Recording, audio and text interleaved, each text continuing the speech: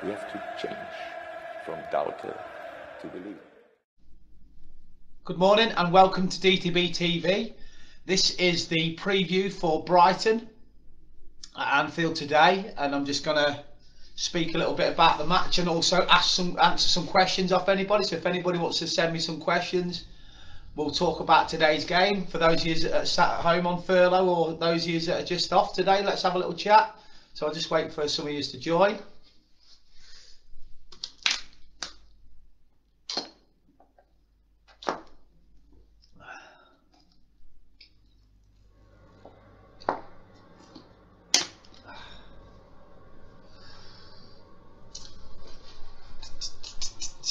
How is everybody? I hope you're all well. Just got some uh, news to read out as as I always do uh, on match days. Really looking forward to today's game.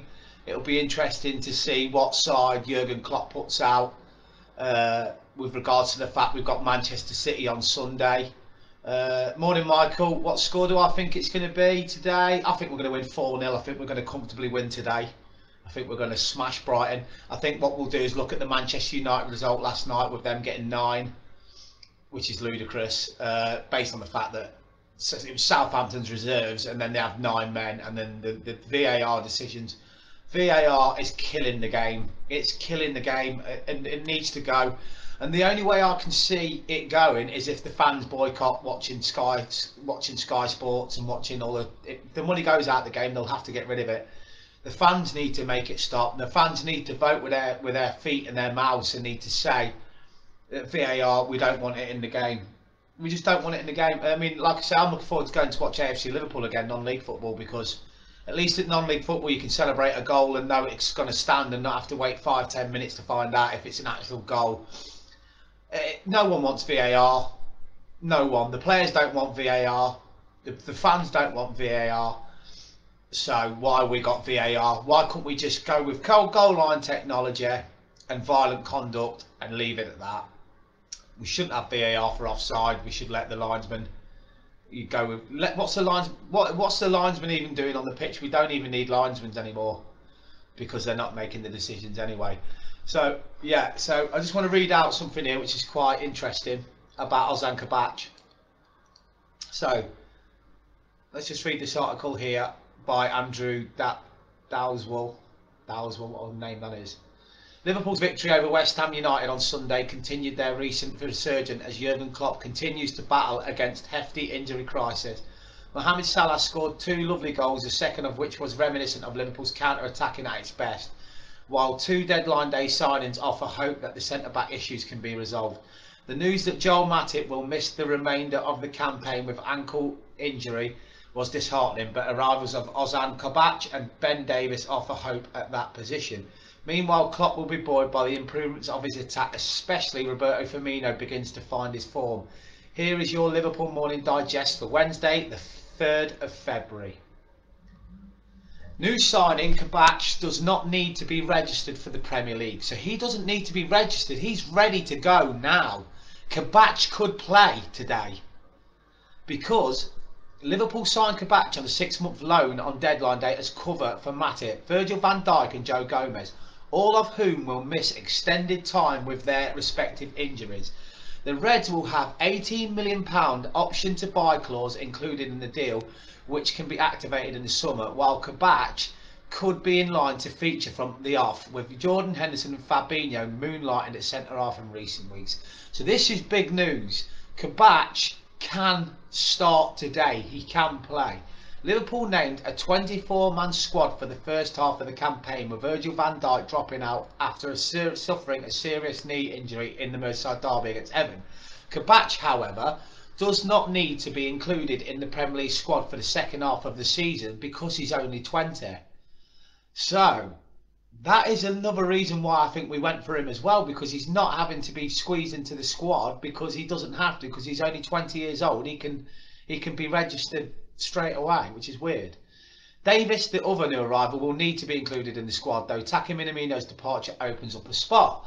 So Kabak could only come because he didn't need to be involved in the squad, and Minamino going freed up the space to allow Davies to come in.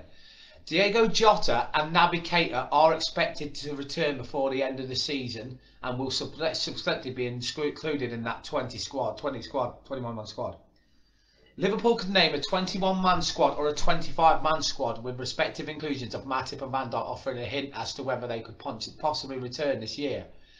Eyebrows were raised when Liverpool targeted Preston defender Davies in the closing days of the window of the January window. Liverpool's need for a centre back was well known, and with options limited given their financial situation and a deadline looming, they had to drop to the Championship. Davies, who had, had six months remaining on his Preston contract, was expected to sign a pre-contract agreement with Celtic. However, once Liverpool entered the equation, everything changed, and the two million transfer was swiftly completed. But if people had doubts over Davies' ability to step up to the Premier League, they were they only need to look at Jose Mourinho, Spurs, and Joe Rodon for encouragement. Rodon made the step up from Swansea City, and Mourinho has been extremely pleased with the young centre back. He played well and he did many things well, a couple of things not so well, but he's a player, of course, who was playing the Championship, Mourinho said after Tottenham's victory Sheffield earlier this month. A young guy, he has to learn. One thing is, you want a central defender and you pay £70 million for one of the top centre backs in Europe. Then you resolve your problems. Another thing is to get a good player, but a player who needs to develop with Joe, that's the situation. He has to learn, he has to make mistakes, he has to play, he has to learn. So Jose Mourinho there is just saying that you can find some diamonds in the. Uh, in the championship. Right, good morning, Tosh. Match of day shit too now. VAR, VAR, this VAR. Yeah, VAR needs to go. It really does. Eh, just for the good of football. And like I say, and I've said this quite a lot, non-league football is the future for me because I like to go to a football match where I can see real football, where it's not overclouded by VAR because I'm not a VAR fan. I'll watch it on the telly and I'll hate it but uh, uh, with regards to me going to games, if I have a choice now on a Saturday to go to Anfield or to go and watch AFC Liverpool, the chances are nine times out of ten. In fact, I will always pick AFC Liverpool because I love football and I love I love the emotion that comes with it. And I was at the game against West Brom in the FA Cup when West Brom hit us on the counter attack, went and scored, and it came back two minutes later for a Liverpool penalty in the build-up. That was that was VAR finishing football for me, in my opinion.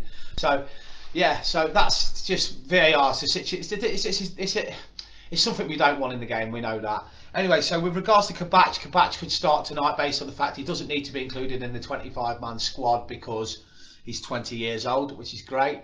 We'll have to wait and see uh, with regards to that.